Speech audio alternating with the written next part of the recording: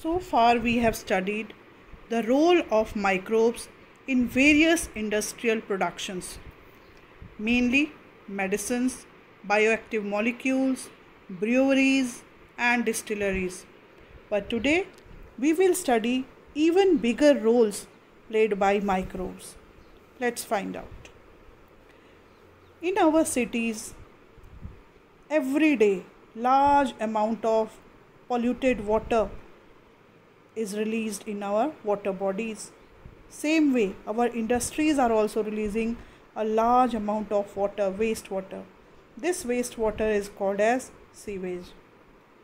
But we just cannot dump this sewage directly into our water bodies, which are so precious.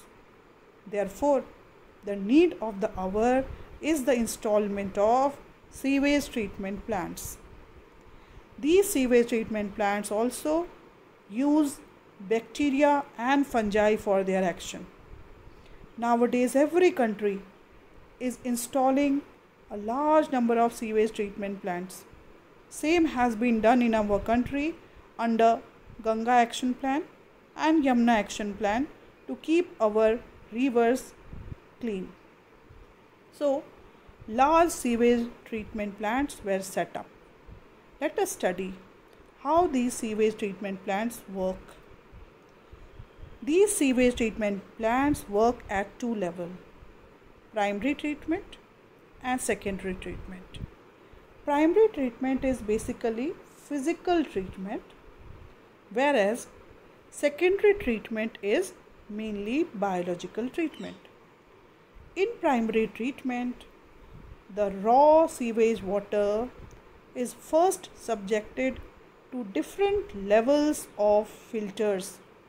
So, filtration is done at different levels, and whatever water is left or effluent is produced, that is allowed to settle down. So, the settled product is called as primary sludge, whereas the leftover water is called as primary effluent. So we get primary sludge which is settled and whatever is left is it, it is called as primary effluent. This primary effluent after removing the solid is now sent to the secondary treatment. This secondary treatment is also at two levels. First is aerobic and second is anaerobic. Let us first study the aerobic treatment of this primary effluent.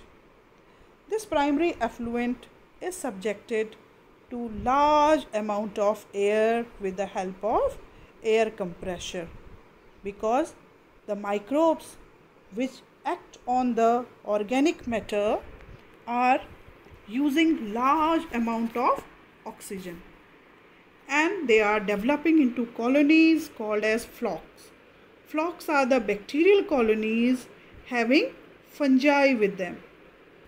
These flocks they increase BOD that is biological oxygen demand. What is biological oxygen demand? Biological oxygen demand is the amount of oxygen required to remove all the organic matter from 1 liter of water. So we can say higher the BD, BOD, more polluted is the water. If we compare the BOD of clean drinking water should be less than 0.5 milligrams per liter but do you know what is the BOD of our this sewage water? It is more than 600 milligram per liter. So, BOD is an indicator of water pollution. So, because of the aerobic treatment of primary effluent, BOD is brought down. And because of this treatment and lowering of BOD, whatever the settled product is formed that is called as activated sludge. So this activated sludge is a great source of biogas production. This is sent to anaerobic chamber, anaerobic digester where the microbes start degrading it and produce mixture of gases which are methane, hydrogen sulfide and carbon dioxide. This combination of these three gases is called biogas where 75% is methane.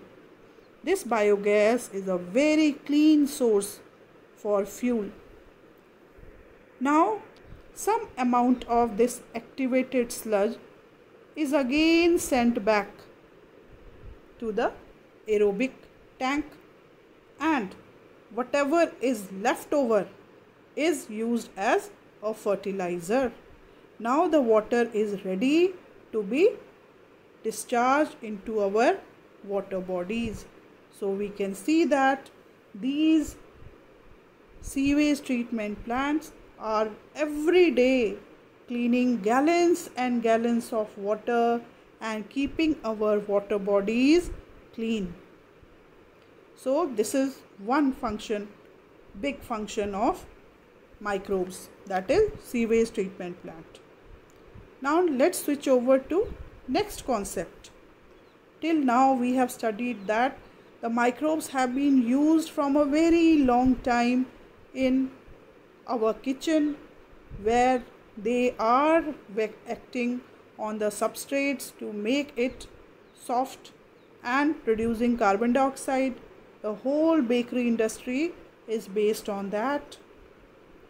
Also, these microbes are being used for fermenting so many beverages and the whole alcoholic industry is based on that. So now we know that these microbes when they act on the substrate they release certain gases. So these gases are of very great importance. So this, these gases mainly the methane gas can be used as a source of fuel. So there are many microbes which are commonly called as methanogens. They act on the organic substrates and convert the organic substrate into methane, hydrogen, carbon dioxide and this composition of the gas is called as biogas plant biogas. And biogas is considered as a green gas. So a good alternative of biogas is gobar gas. This gobar gas why it is called gobar gas because in the rumen of cattle, there are methanogens.